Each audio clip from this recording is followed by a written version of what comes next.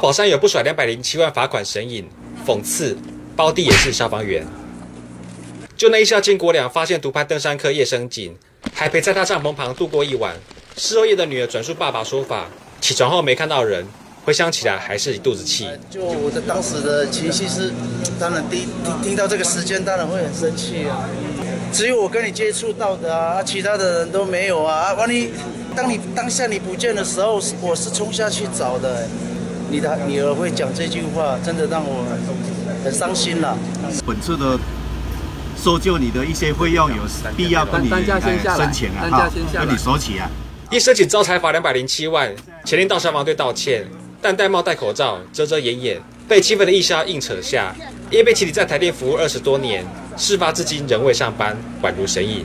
叶申请有上班吗？他请到什么时候知道吗？不清楚，你问张浩的啊，张浩。那未来，因为他说他腰受伤，所以他继续要请假。我现在还在收集几天？呃，我都没有统计，但是他会请到二十八号。他是未来会成熟吗？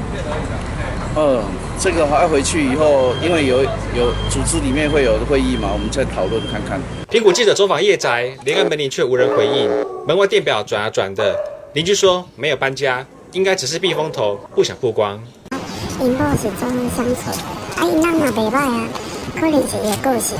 他们应该在家里，不敢开门，因为昨天七点的时候有好多摩托车啊。